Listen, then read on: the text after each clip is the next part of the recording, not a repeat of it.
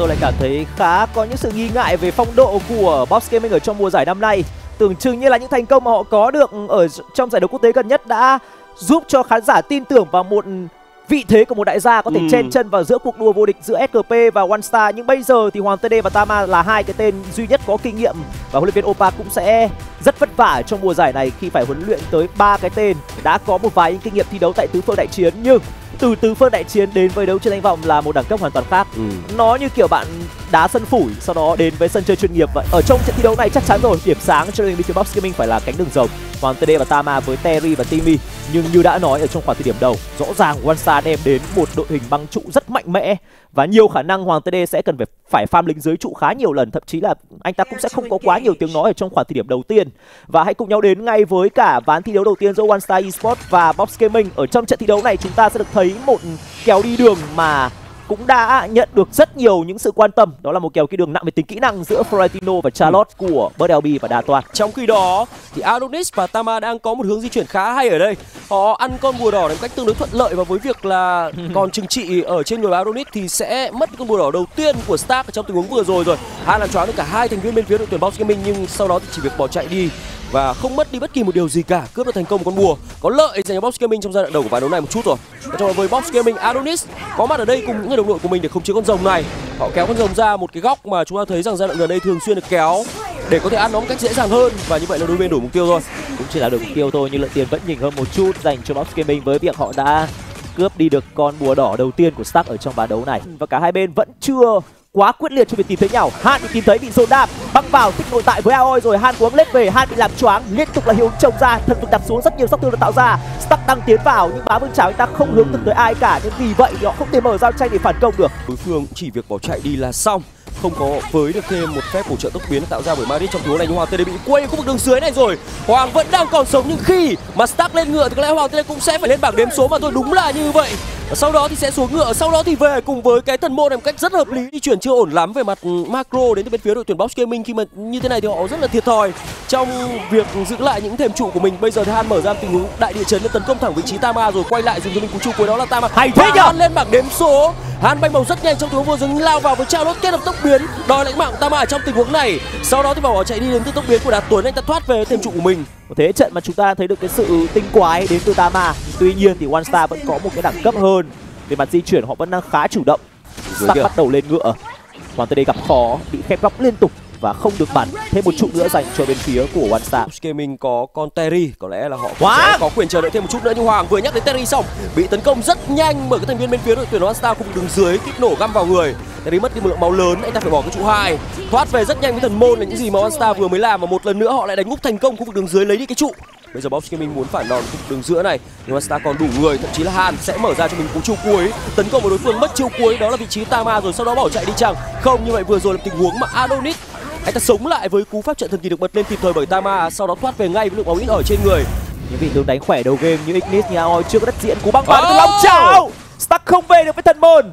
Hai nhịp đu dây mà tôi đã giúp cho Adonis hạ gục đi người đi rừng của đối phương trong một tình huống bất cẩn để băng trụ. Và đây có thể là cơ hội để cho Box Gaming phản công ngược trở lại. Cú đu long trả tiếp theo đẩy lui Han ngược trở về. Họ đang chưa thua quá nhiều về lượng tiền họ đang ừ. cân tiền với đối phương và họ vẫn có thể chờ đợi được. Một sai lầm thôi cú băng vào tốc biến đi đạt tuấn phun hoa. Thẳng bị chưa Marit Marit bị tìm thấy Marit bị trượt phun hoa không chịu một phát nào cả và anh ta nằm lại ngay. Không thể làm gì cả. Bên phía One Star bất ngờ mất đi hai người. Và anh ta mới chỉ có hai món đồ lớn trên người vẫn sẽ cần thêm món đồ như này oh. là đạt tuấn. Đạt tuấn chơi cân năm trong tình huống này. Thì hơi liều thì phải. Anh ta cố gắng thoát đi với cú phun hoa vừa rồi thoát được thành công. Nhưng vừa rồi làm pha xử lý nó hơi có lẽ là không thực sự hợp lý lắm. Đến từ người chơi đường trên box gaming và bây giờ đây thì one star sẽ lui lại một cách hoàn toàn là an toàn với tất cả thành viên của mình mà thôi. Đây là bớt lb không giữ lại được con bồ xanh. Đây tình huống mà adonis dùng ngay cú long diệt thoát đi và đây là con rồng dành cho bên phía của box han cũng chỉ đứng đó thôi không làm được gì quá nhiều cả. Nửa trên của bản đồ kìa. Với việc có Rowie họ đang kéo người lên để khoét vào cánh trên. Và nếu như không có người về nhanh thì có thể sẽ mất đường số cấp rất nhanh từ bên phía của uh, box gaming. Uh, vào long chảo uh, của Adonis uh, và không thể lấy được mạng của ai cả. Mất đường sư cấp rồi về cho một gang tấc và thôi và không qua bên phía one star phải nằm lại cả. Một tình huống thoát tim. Ừ. nhưng one star làm được. Với charlotte so với sự đột biến mà đạt tuấn đem lại với con Florentino của anh ta vừa tanh tốt vừa mở giao tranh bắt người cũng tốt nữa. Đại điện trần đến từ toro nhưng không giữ chân được ai cả. Tama băng vào tốc biến ra thực lực rất đẹp. Đu long chảo hai nhịp đẹp đến từ vị trí adonis. Có cú lòng diệt nhưng không có quá nhiều sát thương dính phải kíp nổ rồi. Về được thành công từ bên phía one star gọi ra thật thêm một lần nữa mất đi nửa cây máu trên người của tama. Cánh trái nó sẽ chuyện của stark nhưng không phản công được bởi bóc đã chạy về rất nhanh. Được kiểm soát bởi Adonis cũng như là cả Hoàng TD đang bắn liên tiếp con Caesar này. Và có vẻ như con Caesar này nó sẽ dành cho bên phía Box Gaming một cách thuận lợi. Họ có được nó thành công. Cả ba người lên bập đầu ngược bên phía của One Star. Đúng là như vậy si, rồi. Si, si gặp khó. Han. Si bị tấn công rồi, băng vào đi giảm thực lực trong tay Tama và TD xử lý được Si thành công. Và liệu rằng Charlotte cho tay của Bernabé có thể phòng được con Caesar này không đây? Ta dính phải long diệt long trả của Adonis và anh ta sẽ phải nằm lại mất đi thất thất tinh kiếm trận mất đi phá không quân kiếm mất đi hết tất cả chiêu thức của anh ta nằm lại ngay. Tiếp theo sẽ kéo theo cả người chơi còn lại đội của anh ta nữa. Và một được sự cấp danh cho bên phía của bóng kiến minh hoặc có thể là end luôn và thi đấu này nhà đây. kia nhà stark ơi stark phải về ngay. Stark bây giờ mới về trong đó cũng thì đang là diễn ra mèo đuổi chuột đến từ đĩa tuấn cũng như là han nhà đang bị tấn công vào rồi và con xe ra đã đổ tiến vào. Box minh đang phá nhà. Và như vậy có vẻ như sẽ là một không trang khi mà lúc này wow. đang chỉ là một mình han và bây giờ si hồi sinh. Si đang tiến ra si cố gắng phòng ngự hết lính rồi. Hết lính rồi chưa end được game chẳng còn chờ thêm một tên lính a đây vẫn còn con xe ra to quá. Và như vậy là một không. Một không dành cho box gaming trong one star. Đó đẳng cấp rất phong cách đến từ tama. Pha xử lý tuyệt vời. Một tình huống mà tama cũng không về ngay. Ừ. anh ta linh cảm rằng đối phương đứng ở đó để bắt để bắt ngược vào một ai đó bên phía của Box Gaming. Ban đầu ý đồ muốn ở lại bắt người để outplay đối phương đến từ vị trí của One Star nhưng sau đó thì Tama biết rằng đối phương không về mà ở lại bắt người. Nên ta gọi thêm đồng đội đến và xử lý luôn. Cú băng vào người giám thần lực của Tama làm choáng rất nhiều người trong cái bụi đó đã cho thấy được linh cảm chính xác từ Tama.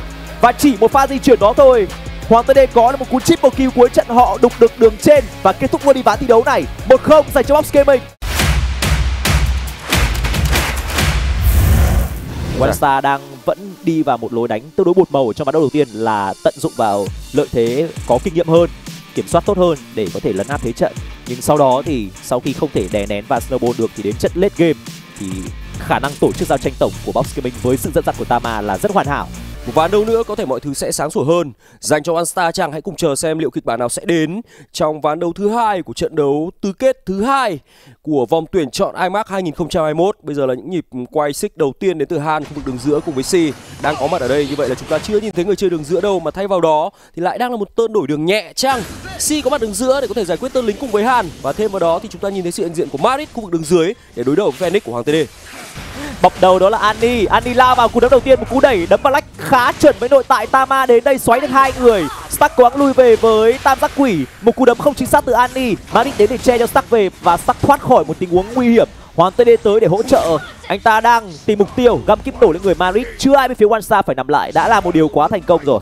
Uh, Stark cần phải cẩn thận. Nếu như mà anh ta cẩn trọng hơn thì có lẽ một tơn biến về thì cũng không mất gì cả trong đó với box gaming Đea Tuấn nếu như họ muốn tạo thêm ra một chút sự đột biến nữa thì có thể tấn công vào phần rừng của đối thủ nhưng đây là Đea Tuấn lần này chắc xong rồi. Và Madrid có mặt đường trên đó là sự khác biệt về mặt kinh nghiệm chăng? Khi mà Đea Tuấn thì uh, chọn ở lại. Ô! Oh! bớt tốc biến lại là kinh nghiệm lên tiếng rồi. Và quay trở lại với lượng đam gây ra bởi Madrid đang thổi lửa vào vị trí Bani ở đường dưới thì Si cũng đang gặp khó khăn. Một cú thủy thần rất đẹp và bất động.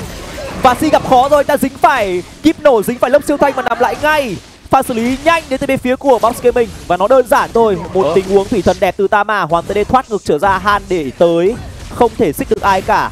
Tama đứng che người được chọn là Tama. Anh ta bị lật lại anh ta hết thủy thần rồi. Anh ta bị kẹt lại. Madrid đang tới có thêm cả chiêu cuối đến từ Kira nữa nhưng Tama khá trâu và anh ta ừ. lên được về thành công. Mới mất cú tốc biến gần đây thôi. Vì vậy thì có vẻ như lối ganh đến từ Adonis đang bế tắc một chút. Tama buộc phải bật thủy thần ra làm choáng được Han và Si bắt đầu bắn nội tại. Anh ta dính phải kíp nổ dính phải lông siêu anh ta dính đam rất nhiều và Si không còn khả năng ra chạy nữa. Chậm chậm lực bao và Anoid là đủ đẹp và hạ gục được Si thành công rồi. Qua đó thì rồng có lẽ sẽ nằm trong tay của Box Gaming bởi One Star thiếu người. Si đứng góc không đẹp lắm ở trong tình huống vừa rồi. Bắn bão đạn sau đó anh ta không có đường lui nữa. Anh ta buộc phải sử dụng mình cái tốc biến qua bên kia bờ tường. Nhưng khi mà Adonis đến thì có lẽ mọi thứ cũng đã được định đoạt dành cho người chơi xạ thủ của One Star. Kìa Ani kìa. Ani tả xung đột nguyên một combo. Marit Marit ô đi không đủ đam ôi đủ đam rồi. Thêm hoàng td hiện diện nữa. Và như vậy Marit cuối cùng đã bị săn bởi Ani rồi. Chúng ta Tama phải bỏ chạy đi với dạng thủy thần của mình. Và đây là tình huống mà One cố gắng gây sức ép khu vực đường giữa này. Quật được một người đó là Tama. Han đang cố gắng để có thể khiến cho Tama gặp khó. Và Tama vẫn lượng máu là tương đối nhiều. Vẫn đang cố gắng để có thể kiểm soát con rồng này thêm một lần nữa đến bên phía đội tuyển One họ sẽ có nó chăng nhưng lần này thì Box Gaming không muốn điều đó xảy ra một cách quá dễ dàng con rồng được kéo ra vị trí là tương đối xa và an toàn. Và như vậy là họ có được nó. Nhưng đây là Madrid lần này Madrid không chạy nổi nữa. Anh ta không thoát được về nữa rồi. Khi mà trước đó anh ta đã mất đi cho mình cái tung biến Tama. Tama cũng sẽ phải đổi mạng. Chắc Tama vẫn đang cố lên lên được thành công. Còn Han thì không. Hoàng TD có thêm một trụ nữa. Con Phoenix này đang là khó cản. Cú đấm hay đến từ Andy. Và có một tuyệt vời đến từ Andy. Một cú đấm không trượt một tí nào đến từ con rat của anh ta cả và đây sẽ là con Caesar dành cho bên phía Box Gaming Stark đã phải lên bảng điểm số trong tình huống mà anh ta là người chủ động đi dình đối phương cuối cùng anh ta lại là người nằm lại rồi trong đó thì Han gây ra một chút sự khó chịu dành cho Đea Tuấn nhưng con Caesar vẫn đã dành cho Adonis thành công rồi Bây giờ thì bên phía Box Gaming cố gắng phản công trong tình huống này và đây Ui! là tình huống xử lý quá hay đến từ Andy lấy đi để vào gục của Si. Đội hình của Asta còn hai người thôi họ bị hủy diệt mất ba thành viên. Enzo của anh ta thực sự là không có quá nhiều tiền đềm những cú chấp nã của mình. Anh ta móc không có quá nhiều hiệu quả lật được Tama thì sao đây?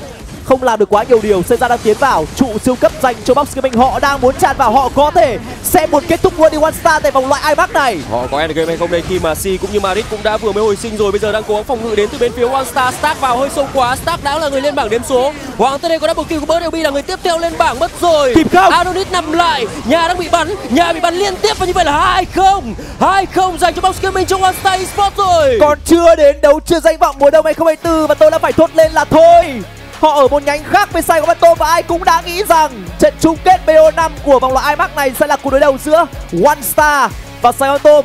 Nhưng Bóc đã thay đổi điều đó. Họ mất đi ba người từ giải đấu quốc tế, nhưng họ vẫn đang cho thấy được sự kinh nghiệm của mình với bộ đôi đường rồng Hoàng TD và Tama.